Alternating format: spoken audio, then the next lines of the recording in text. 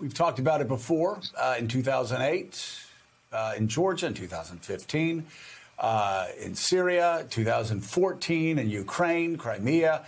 Uh, Vladimir Putin's always uh, made very calculated moves. He's gained much uh, and paid very small price. The opposite's taking place here. Uh, and at this point, he's saber rattling, talking about nuclear weapons. I'm curious, uh, what's your read on the situation? And now that the inverse is true, where he's gaining very little uh, at a great geopolitical price, uh, what's his next move? Well, Joe, before I get to that, I just want to say, isn't it great we have Ambassador Brzezinski in Poland right now? That I know Mark, I've known him for a long time. He knows what right and wrong is and good and evil. It is fantastic. He is in Poland right now. I know Polish people and Ukrainian people are very enthusiastic that he's on the job right now. So thank you, U.S. Senate, for finally getting your job done. Joe, on your question, thank you. I think it's really, really important. Uh, remember, he has been on a run. I need to add Chechnya to your list. Chechnya, 1999. Mm. He's won all these wars. Uh, he's been around for two decades, right? So he's won these wars. He thinks he's on a roll. And he's, in my view, he's obviously overreached here, right? And by the way, this is a pattern we see around the world. This is not something unique to Russia or even the Soviet Union. When dictators hold on for too long, they overreach they get disconnected from reality. They don't listen to their advisors. That's exactly what's going on here. Uh, I was just conversing yesterday with, with people in Russia. Someone in particular that knows Russian elites well, has known Vladimir Putin for 30 years, and they are appalled at how disconnected Putin seems from reality right now. But that's also scary too, especially when he starts to talk about nuclear weapons. Yeah, it, it is frightening, Mr. Ambassador. Uh, I, I know uh, that uh, we are looking uh, through a glass darkly and can't really see what's happening on the other side. A lot of Americans, a lot of people across the West wondering uh, what uh, what happens when enough oligarchs are, are angered, enough insiders are deeply disturbed.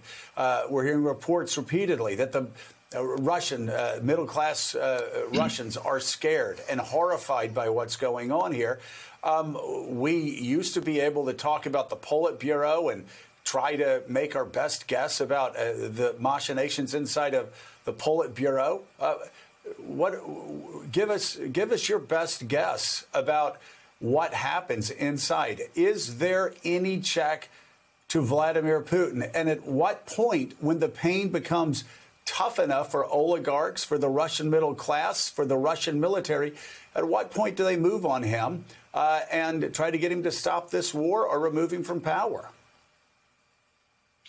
It's the number one question. I, obviously, I don't have a clear answer, but I can tell you that in the last eh, you know seven days because i talk to russians every single day i talk to ukrainians every single day is corresponding with one uh, you know right before we got on here who, who's close to Mr. Zelensky about just how they are standing firm.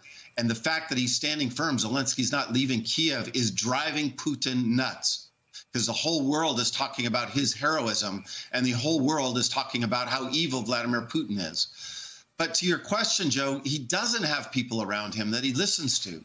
Uh, he's been isolated mm-hmm. forever. He was isolated when I was ambassador eight years ago. He would not listen to anybody. He sat out at his compound outside of town, rarely came to work, does not have a feel for his own country.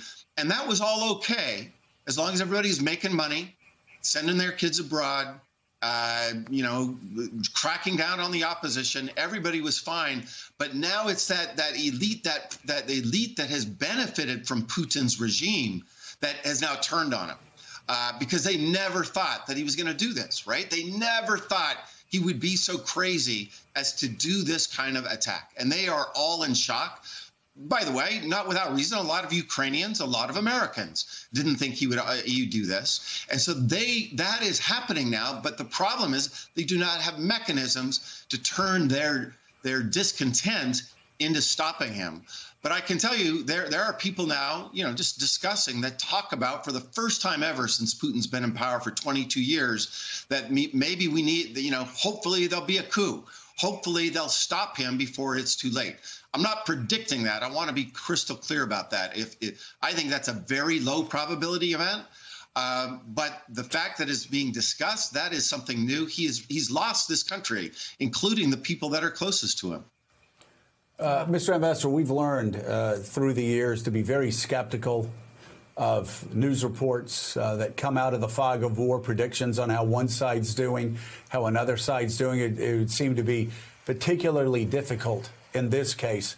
Uh, but did we not get uh, a better understanding of just how badly things were going for Russian troops when Vladimir Putin started talking about uh, nuclear preparedness yesterday morning? Exactly. Exactly. He's not saying that if he's winning the war, right? I've seen him when he's winning wars. He's a very snug guy. Uh, you know, he sits with his legs all spread out, and he, you know, you know, you know how he talks, right? Uh, you're not seeing that Putin right now. You would not be. He would not be saying those things if the war wasn't going badly. The, the, the, the, the other part of that, however, is that he's moving on, I think, to uh, plan B right now. He thought shock and awe, he was going to attack cities. Uh, the Ukrainians were going to fold. Zelensky was going to run to Poland, and he, he would put some, you know, uh, puppet in. That's not happening. And what I fear happening, especially watching things on the ground in Kharkiv, is he's moved to an old Russian, his old strategy that he's used in cities like Aleppo, uh, throughout Chechnya, which is much more civilian casualties, um, to try to uh, turn things around. Hearing from people from Kharkiv, you know, just eight hours ago, they said they're going to fight to the end. Uh, but but I think he's pivoted to that. And the other thing I want to say, Joe, part of the reason it's gone so bad is he's misjudged his own military. I just listened to I don't know four dozen interviews with Russians last night who were captured in in, in Ukraine, and they're asked, you know, why are you fighting? They can't answer that question. Uh, the Ukrainians put them on with their moms, right, on the phone, and they say, "Tell your mom, why are you here? Why are you here?" And they say, "I don't know." Why? And I think we've underestimated. Well, Putin, I think, has underestimated that. I think maybe the world has. Right? It's one thing to have capabilities, but you have to have the will to fight. And that 58 minute rambling speech that Putin gave, I, I probably was the only one that listened to the end, right? Because I don't think many Russians did he could not explain what this war is about. And I think that affects the morale of the, the Russians that he sent into Ukraine and that he's calling on the Belarusians to help him out. That's another sign of desperation. That's another sign this war is not going according to plan. Well, and, and finally, Mr. Ambassador, let's give perspective to our viewers. You and I grew up in a Cold War uh, from my earliest days. Uh, I, I, heard uh, about how the, the communists, the Soviets were bad. Uh, we we were uh, not not to become a caricature of myself and and Americans uh, in the South, but we wore uh, Apollo tie tacks to Sunday school and church and fighter jets. My dad worked for Lockheed, uh, but we weren't alone. Uh, we, we, from an early, early age, uh, we were Cold Warriors, and uh, most Americans grew up that way. So too did Russians. That's just not the case with these, these for the most part, these kids that are going into Ukraine fighting a war that they do not understand. This is not uh, the twilight struggle.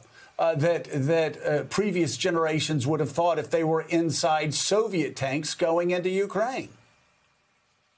It's a great point. Um, and and if you look at the kids that are demonstrating, and I, you know, we'll see them, the, the brave people in Russia demonstrating, they're of a different generation too. They're just so much younger. There they are. Look at those faces, right? Mm-hmm. They're they they look like my kids. Mm-hmm. They're not my generation. But there's one negative thing about your saying what you're saying. Vladimir Putin grew up in the Cold War.